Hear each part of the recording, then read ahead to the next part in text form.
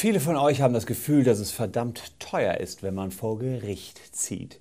Und das Gefühl trügt euch nicht, aber es hängt von einigen Faktoren ab, wie teuer es wirklich wird, wenn man klageweise seinen Anspruch durchsetzen möchte. Was Gerichtskosten sind, wie sich Gerichts- und Anwaltskosten in einem Prozess berechnen, das klären wir in diesem Video.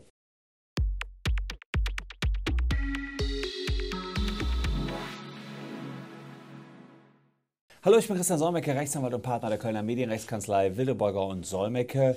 Und vielleicht wolltet ihr immer schon mal wissen, was es eigentlich so kostet, einen Anwalt zu beauftragen, jemand anderen zu verklagen, dann möglicherweise zu verlieren und alle Kosten tragen zu müssen. Dann seid ihr hier jetzt ganz genau richtig. Denn ich erkläre euch mal, was so ein Prozess kostet. Dabei unterscheide ich zwischen einem Zivilprozess und einem Strafprozess. Fangen wir erstmal mit dem Zivilprozess an. Was ist ein Zivilprozess? Ein Prozess, wenn ihr jemand anderen verklagt. Das heißt, ihr wollt irgendwas von jemand anderem. Ihr wollt von euren Mietern eine höhere Miete haben oder euer Vermieter verklagt euch auf, weil ihr die Miete nicht gezahlt habt. Es geht darum, dass euch jemand Schadenersatz zahlen soll. Es geht darum, dass jemand eine Ware zurücknehmen soll. Das alles ist ein Prozess im Zivilrecht, also nicht im Strafrecht, sondern im Zivilrecht. Und diese Prozesse im Zivilrecht werden vor den sogenannten ordentlichen Gerichten ausgetragen. Das ist Amtsgericht, Landgericht, Oberlandesgericht und Bundesgerichtshof. Welche Kosten fallen da an?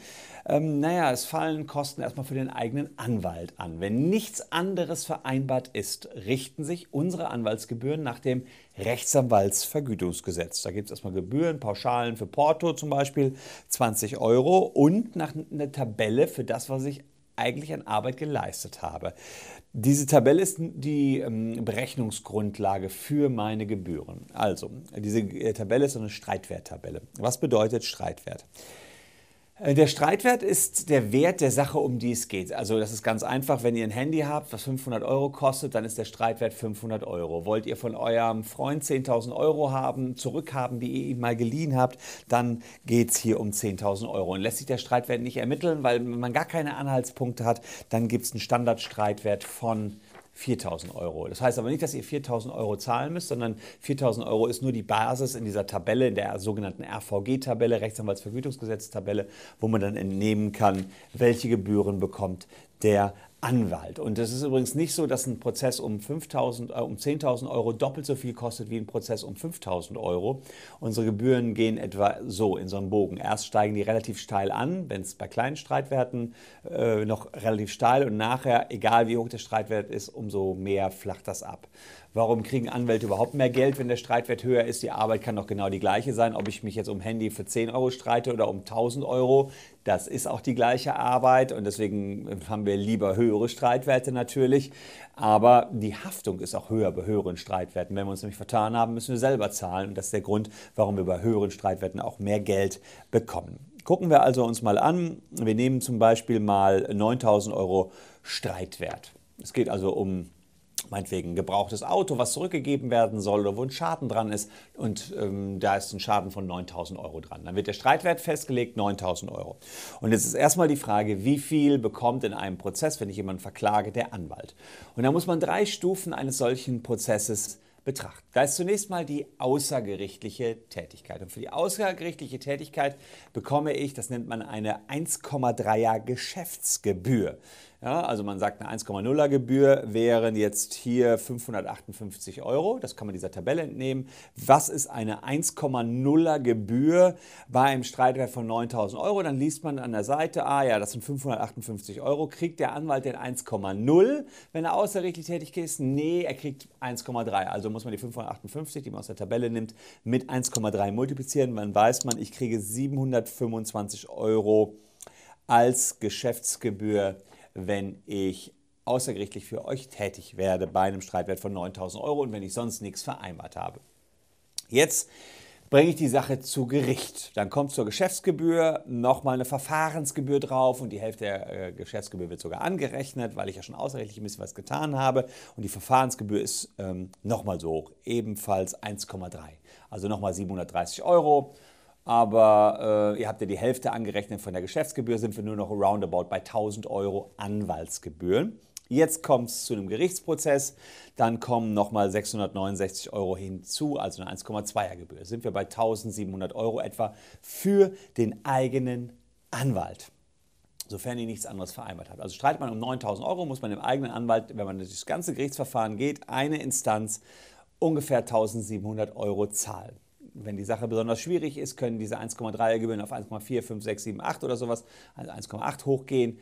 Aber lasst mal die normale Gebühr, die ist 1,3 mal äh, ansetzen. Ihr wollt ja ungefähr wissen, was sowas kostet. Also sind wir ungefähr bei mit der Anrechnung bei rund 1700 Euro für äh, einen Gerichtsprozess um 9000 Euro. So. Jetzt allerdings ist es so, dass natürlich den, den ihr verklagt, der muss seinem Anwalt genauso viel zahlen. Auch nochmal rund 1700 Euro. Dann sind wir schon bei 3400 Euro. Und es kommen nochmal Gerichtsgebühren hinzu, die liegen auch nochmal bei 750 Euro etwa. So dass wir äh, bei, einer, bei, einer, bei einem vollen Prozess mit mündlicher Verhandlung und Urteil am Ende, so dass wir in der Summe äh, bei 4.100, 4.200 Euro ungefähr sind, wenn man sich um 9.000 Euro streitet.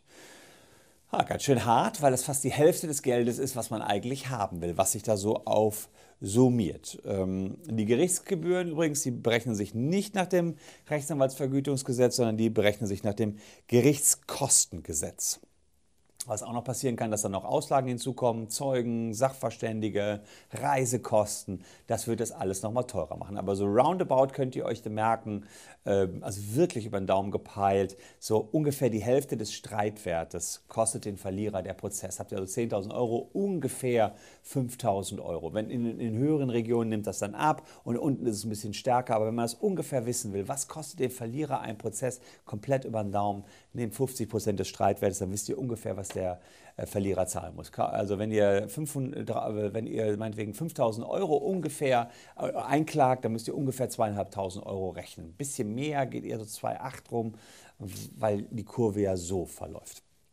An ähm, Anwaltskosten, Gerichtskosten und eben Anwaltskosten von zwei Seiten. Und jetzt ist es noch so, teilweise ähm, habt ihr natürlich Anwaltskosten frei vereinbart. Wir zum Beispiel machen immer eine Vereinbarung nach Stundensatz. Weil das Geld, was man verdienen kann, ja, bei einem komplizierten Prozess nach Rechtsanwaltsvergütungsgesetz einfach nicht ausreicht. Da sagen wir, okay, dir geht es ums Prinzip, uns aber nicht. Also klar machen wir es nicht aus Prinzip, wir machen es als Job.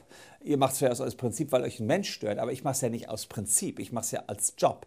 Und dann sage ich, ich kann das nur annehmen, wenn ihr mir meinen Stundensatz zahlt. Und ja, der kann manchmal höher liegen als Rechtsanwaltsvergütungsgesetz, beziehungsweise Rechtsanwaltsvergütungsgesetz ist immer das Minimum, was man zahlen muss in einem Gerichtsprozess.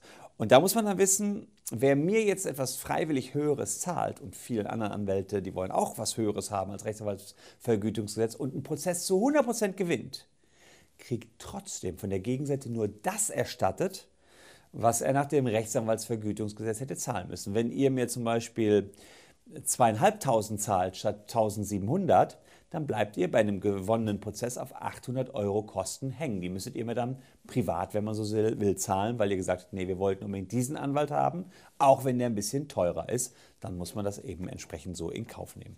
In den ganzen Spezialgebieten, in denen wir tätig sind, ganzen Medienrecht, da sehen die das auch ein, dass man damit jetzt nicht gerade zu einem Feldwald- und Wiesenanwalt geht und in einigen anderen Sachen, wie zum Beispiel im Verkehrsrecht, haben wir auch eine Schiene. Da machen wir dann auch Rechtsanwaltsvergütungsgesetz, weil ich da den Leuten nicht ähm, ja, meine Stunden verkaufen könnte. Dafür habe ich dann eben einen schlanken Abarbeitungsprozess, der optimale Verteidigung äh, sicherstellt, weil wir über Computersysteme genau wissen, wie bei dem und dem Blitzgerät verteidigt wird und so weiter. Und dafür das aber auch verhältnismäßig günstig, dann nach dem Rechtsanwaltsvergütungsgesetz ähm, entsprechend anbieten können. Ein bisschen mehr Gebühren kommen noch drauf, wenn man im Vergleich ist. Äh, der Richter sagt übrigens, wer welche Gebühren tragen muss. Wenn man zur Hälfte im Verfahren gewinnt, dann ist normalerweise Kosten gegeneinander, muss jeder seine Gebühren selbst tragen. Ist dann natürlich auch ein bisschen blöde. Ähm, dann gibt es äh, noch Prozesskostenhilfe, wenn ihr euch das Ganze nicht leisten könnt, so ein Gerichtsverfahren. Dann kann man Prozesskostenhilfe beantragen und je nachdem, wie reich oder nicht, die kriegt man, ähm, habe ich auch nachgeschaut, wenn man nicht mehr als den Sozialhilfesatz zur Verfügung hat und nicht mehr als 3000 Euro Ersparnisse oder sonstiges Vermögen. Ähm, und dann berechnet der Rechtspfleger, wie viel Geld man zur Verfügung hat. Und dann kann es sein, dass man die Kosten des eigenen Anwalts der Gerichtskasse, also die hat das erstmal vorfinanziert, dann ratenweise wieder zurückzahlen muss. Das könnte sein.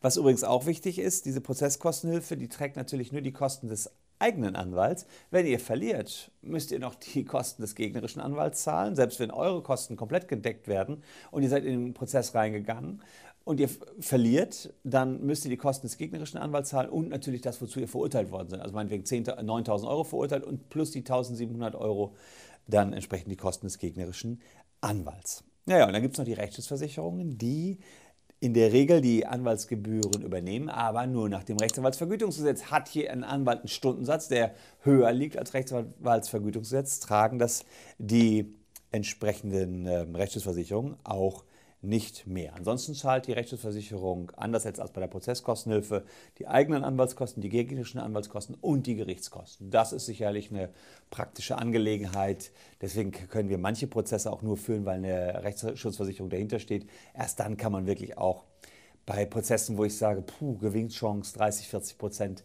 trotzdem noch durch die Instanzen gehen. Ja, und oft hat man dann eben das Glück. Ich meine, 1 zu 3 Chance ist doch eigentlich fair. Wenn ich aber nachher auf Kosten von 4.000, 5.000 Euro hängen bleibe, sagen viele Mandanten, hm, mache ich nicht. Und da kann eine Rechtsschutzversicherung sicherlich äh, hilfreich sein. Die haben manchmal noch Selbstbeteiligung von 100, 150 Euro drin. Aber auch das kann sich lohnen. Wenn es ansonsten 4.000 Euro auf dem Spiel stehen, lohnt sich auch noch die Selbstbeteiligung. Dann habe ich mir noch angeschaut für euch das Strafrecht. Da geht es darum, dass der Staat euch anklagt, weil ihr was geklaut habt, weil ihr jemanden verletzt habt, eine Körperverletzung, weil ihr eine Trunkenheitsfahrt am Steuer hattet. Ähm, da braucht, könntet euch in gewissen Situationen selbst verteidigen, aber nicht ratsam. Da nehmen sich fast alle einen Anwalt. Ähm, und auch da wieder sieht es so aus, dass mm, es Gerichtsgebühren gibt. Die richten sich in der Regel nach der Höhe der Strafe, die zu erwarten ist. Meinetwegen bei einer Freiheitsstrafe bis zu sechs Monaten haben wir 140 Euro eine Gerichtsgebühr. Äh, bis zu zwei Jahren 420 Euro. Bei Geldstrafe gibt es auch noch, ähm, da kommt es auf die Tagessatzhöhe an. Ähm, also das, das muss man noch ins Kalkül ziehen. Und dann gibt es die Kosten für den eigenen Verteidiger. Auch da richtet sich das Ganze wieder nach dem Rechtsanwaltsvergütungsgesetz. Vor dem Amtsgericht äh, nach RVG liegen die für den eigenen Verteidiger bei ungefähr 2000 Euro maximal. Aber auch da, ihr werdet keinen guten Strafverteidiger nach RVG finden. Ja, da muss man schon schauen, dass man jemanden findet, der noch bezahlbar bleibt. Auch nach RVG kommen übrigens pro Verhandlungstag nochmal maximal 570 Euro obendrauf. Also da bleibt es dann auch nicht ganz bei den 2000 Euro. Was aber in Ordnung ist, weil ich muss sagen, Strafrecht ist auch wirklich viel, viel Aktenwälzerei. Die lesen stundenlang an den Akten. Das sind solche Packs.